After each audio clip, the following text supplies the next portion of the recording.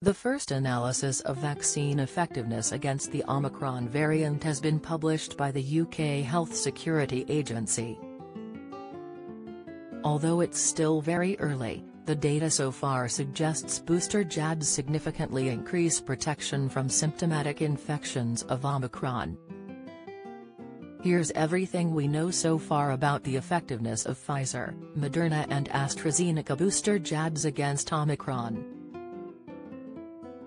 Early analysis from the UK Health Security Agency, UKSA, of more than 500 people suggests two doses of a vaccine don't offer the best protection against the Omicron variant.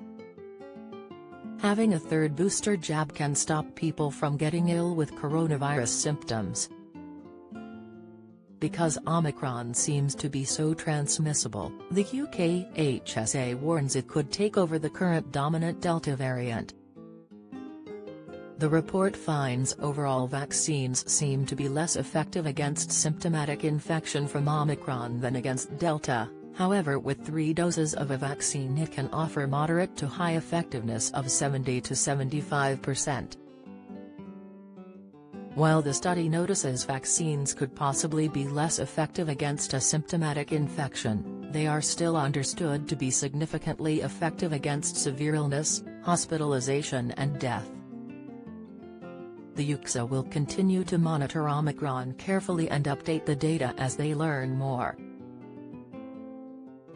In their report they say, due to the early nature of the findings, all estimates are subject to significant uncertainty and are subject to change. Around 22 million people have had their booster jabs so far, and the government is urging anyone who is eligible to get a third dose of the vaccine to protect against Omicron. How effective is Pfizer against Omicron? A booster shot of Pfizer offers 75% vaccine effectiveness against Omicron symptoms, according to initial analysis by the UKSA. Two doses of Pfizer offer only 30 to 40% vaccine effectiveness against a symptomatic infection from Omicron. How effective is AstraZeneca against Omicron? If you had an AstraZeneca jab six months ago, the vaccine's effectiveness against a symptomatic Omicron infection is close to zero, according to the UKSA. However if your first two jabs were AstraZeneca, you can have a Pfizer booster jab, after which you should have 70% vaccine effectiveness against becoming ill with symptoms. How effective is Moderna against Omicron? There is not yet enough data to analyze how effective Moderna or Janssen jabs are against Omicron.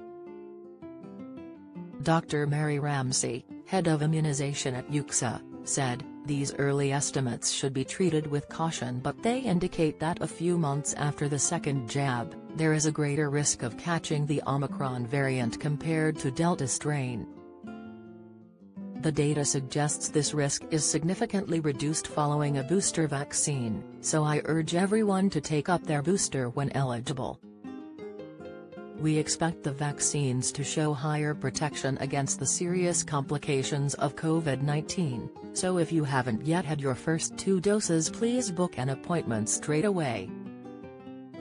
Working from home where possible, consistently wearing masks in crowded or enclosed spaces, Washing your hands regularly and isolating and getting tested if you feel unwell are also vitally important in reducing the impact of COVID-19 this winter.